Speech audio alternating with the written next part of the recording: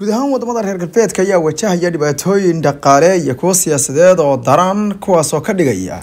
in iyaga iyo shucuubta iyo shacabkooda kala duwano ay isaga hor yimaadaan dhinaca siyaasadda iyo amnigaba.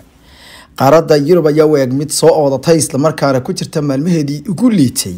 ee dhinaca dhaqaalaha halka maraykankana wadnaha farta lagaga hayo tiyo oo is dheertahay dagaalada kale ee dhinaca dhaqaale ee sacuudigu ku afwareemay marka horese daawadayaal ku soo dhawaada barnaamijkeeni warwareyn oo aynu ku eegi doono qodob kale oo ka mid ah kuwa ugu xiisaha iyo xalada badan wararka caalamka maanta.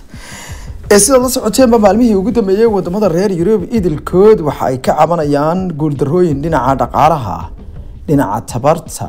dukaamada ganacsiyada. Kuwa waaweyn kuwa dhexe iyo kuwa yaryar ayaa u eg kuwa qiilqiil ku jira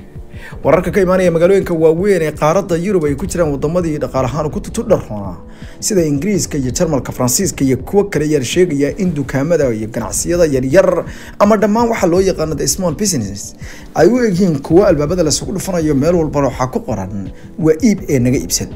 taa waxaa sii dheer in nolosha caadiga ah ee cirka isku shareertay. Wadamada qaarkoodna waxay arrintu gaadhay meeshii ugu darayd ee abid dhacda waxaa ugu sii daran dadka ku dhaqan dalalka jarmalka faransiiska iyo kuwa kale ee bartamaha iyo waqooyiga yurub tiyo ay sii dheer tahay qalalaasaha xoogana dhinaca siyaasadda iyo hubanti la'aanta. Dadka ayaa la sheegay inay cadho aada u weyni ay buuxdhaafisay umalka dadka ka soo burqanaya ayaa ah in ay u arkaan in dowladahoodu ay siyaasad xumo darteed ay qaateen in ay dhaqaalaha wadamadooda ku burburiyaan wadanka ukraine oo horey ruushka uga mid ahaa jiray kaasoo dartay ruushka is hayaan dad badan oo qaaradda yurub gaar ahaan kuwa waqooyiga iyo galbeedka qaaradda ku dhaqani waxay u arkaan inay doolaalatag gardaro iyo isbihinbihin ay tahay in gebi ahaanba dalalkaasi ay galaan dagaal aysan doonayn. Shacabku waxay u muuqataa in ay dadku sidoo kalena ay ka weyrixeen oo ay aada iyo aada uga gododsan yihiin baa layidhi ficilada qaar ka mida wadamadooda ay dhaqaalaha faraha badan ugu gurbinayaan dalka ukraine iyaga oo shalay uun ku dhawaaqay gole military oo ay ku caawinayaan kaasoo ay u marinayaan mucaawanooyinka iyo taakulooyinka dhinaca militariga iyo ciidanka iyo warwareynta iyo dhaqaalaha wadanka ukraine. Dad badan waxay u arkaan taasi inay tahay gafaf waaweyn iyo weliba khaladaad laga gelayo dadka ay yidhaahdeen iyo muwaadiniinta reer yurub. Taasi waxay keeni doontaa yaal in isbedello waaweyn oo dhinaca doorashada ay dhacaan. Waxaad sii dheer in dembiyadu ay ku soo bataan waddamada qaarkood iyada oo dhaca ay noqon doonto ayaa la caadiya waxaa la filayaa in waddamada reer yurub ay badankooda u ekaadaan sida waddamada ay ka tooqaan kana faana mararka qaarkoodna ay ka faagtaan ay ugu yeedhaan adduunka saddexaad. Iyaga oo shalay uun ama toddobaadkan uun ahayd markay tooqayeen ay ku faanayeen inay yihiin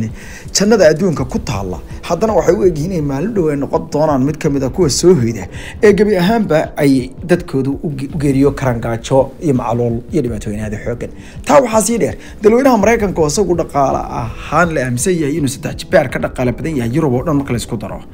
ayaa waxaa la sheegay in isagana ay u bilaabatay iyada oo ay taasi ku noqotay masiibo weyn siyaasadda madaxweynaha dalka maraykanka joe biden. Joe biden ku dhawaad afartan bilyan oo doolar ayuu ku khasiray dagaalka ukraine wuxuuna iibiyey hubkii ugu badnaa. Dowladiisuna waxay la kaca kufaysaa in ay saxdo suuqa sicirkiisa uu bararay ama kor u kacay. Qiimaha maciishada cirka isku shareertay shidaalka oo mar walba dhinac u dilaamaya shaqooyinka qaarkooda yaraaday. Dalabyada iyo shaqooyinka la qaado gaar ahaan dhinac waxyaalaha loo yaqaano shimentiga waxyaalaha la kala. Markaasi dhoofdhoofiye la kala gudbiyo ay qaadaan baabuurta doonyaha maraakiibta iyo diyaaraduhu oo iyaguna gebi ahaanba gabaabsi noqday. Iyo tiyo ay u sii dheertahay dagaalka ba'an ee dhinaca dhaqaalaha ay wada galeen iyaga heshiina taa waxaa sii dheer in ay dowladda sacuudi arabiyana ciyaartay siyaasad weyn ay doonaysa inay ku fashiliso xisbiga dimuqraatiga inkastoo la sheegayo in maraykanka iyo sacuudiga dagaalkoodu muddo dheer qaadan karo hadday kala tegayaanna ay isku sii daahi karaan. Haddana sida ka soo dhexbaxaysa saraakiisha kala duwan ee dalka maraykanka uu ka mid yahay xogayaha arrimaha dibadda anthony blinken kaasoo ka daba hadlay madaxweynihiisa oo toddobaadkii hore sheegay in ay jiri doonto cawaaqib xumo weyn oo uga cayaansadaan islamarkaana ay la dhacaan dowladda iyo xukuumadda jidda ama riyaad haddana weli waxay u muuqataa arrintaasi mid aan dheg jiq loo dheg aysan jaraq u siinin sacuudiyaanku sacuudiyaanku arrintan waxay uga leeyihiin wada shaqayn hoose oo ka dhexaysa iyaga iyo xisbiga jamhuuriga ayagu waxay daneynayaan in uu soo noqdo xukunkana uu dib ugu soo laabto trump oo kale ama ninka kan oo midigta foga waayo kaasi waxa uu ogol yahay in ay dowladuhu waxa ay doonaanba ay sameeyaan. Bardootamaan islamarkaana ay kibraan dowladaha tunka weyn oo dhanna ay noqdaan kuwo iyagu waxay doonaan suubiya taasoo ka dhigaysa inay fasax ama waaran ay ugu jareen inay ku tacadiyaan waxyaalaha kale dimuqraadiyiintu ay isku xilsaareen cimaamadan ay u qaateen waa hore ay sheegeen inay mar walba dhowrayaan oo ah xuquuqda insaanka xoriyadda hadalka taageerista warbaahinta iyo waxyaalaha lamidka maraykanka ayaa maciishada kacaysa waxaa sii dheer iyaduna in aan waxba la goynaynin oo hadday tahay gawaadhida guryaha iyo qiimaha waxyaalaha qaaliga ah oo dhan ay cirka ku shareeran yihiin. Ti oo ay sii dheertahay in laga baqayo inay hal mar haddana dhulka galaan. Taasina dhibaax kale oo dhinaca dhaqaalaha ay ku noqon doonto dalka maraykanka waxaa taa dheer in shaqaalaha shirkadaha waaweyn sida amazon iyo kuwo kale oo diyaaradaha sida shirkada delta kale ay doonayaan in ay kacaan oo kacdoon ay suubiyaan. Dadka kacdoonka raba waxa ay ka digayaan in gebi ahaanba ay ka tegi doonaan shaqooyinka ama shaqo joojin suubi karaan oo ay uga jeedaan in ay ku cadaadiyaan shirkadaha waaweyn iyagoo dhaqaalaha diiday inay kordhiyaan haddaba qaar ka mid dhaqaalayahanada ayaa ku kale fakar diwan waxa laga yeelayo dadka cadhaysan dadka cadhaysan qaarkood waxay ku talinayaan in loo hiiliyo islamarkaana dhaqaalahooda loo kordhiyo. Oo mushaaraadka iyo gunooyinka la siiyo la laba jibaaro ama ugu yaraan saddex dalool hal dalool lagu daro. Halka kuwo kalena ay qabaan in aysan gebi ahaanba taasi aysan awoodin shirkaduhu maadaama shirkadaha ay ku kacday noloshii kale. Tusaale ahaan baa layidhi goobtii bishii bixi jirtay soddonka kun ee doolar ee lahayd ilaa soddon ilaa lixdanka dukaan. Haddeer waxay bixinaysaa ayaa layidhi ku dhawaad laba boqol oo kun oo doolar oo ah in ay korontada iyo waxyaalaha loo yaqaano utilitiga ay ku bixiso ama qarashaadka biilka ee dabcan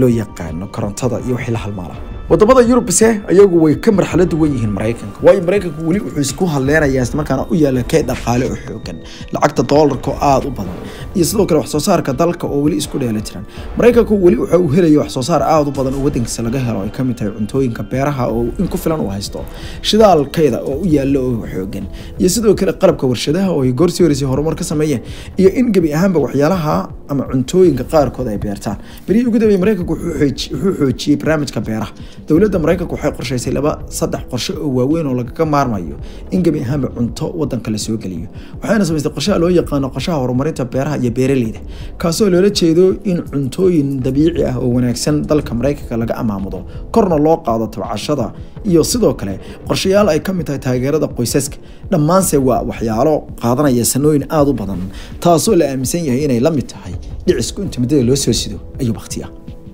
dhanka kale marka laga fiiriyo haddaba siyaasadda arrimaha dibadda ee maraykanka ayaa iyadan ruuxan weyn u galay.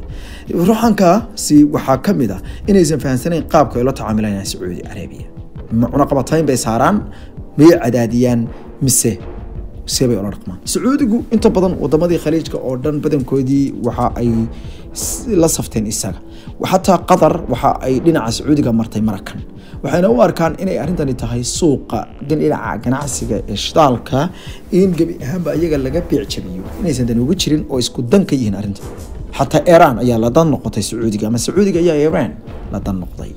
Balse sacuudigu marar badan maraykanka uu kaga fuji jiray markay arrinta ku xumaato. Betrodollar qorshaha loo yaqaanay waxa uu ahaa mid sacuudigu uu in badan dowladda dalka maraykanka ku naasnuusi jiray balse waa idlaaday qorshahaas taa waxaa sii dheer dagaalada baan laga baqayo inay iyaguna bilowdaan oo waxaa iyadoo ay taagan tahay ukraine iyo xaaladda ruushku waxaa soo jijiila iyaduna marxalad kale oo ka soo bilaaban karta. Dhinaca dalka andhaho shiinaha iyo taiwan oo iyaguna u ciilcunsan inay mar uun cagta mariyaan.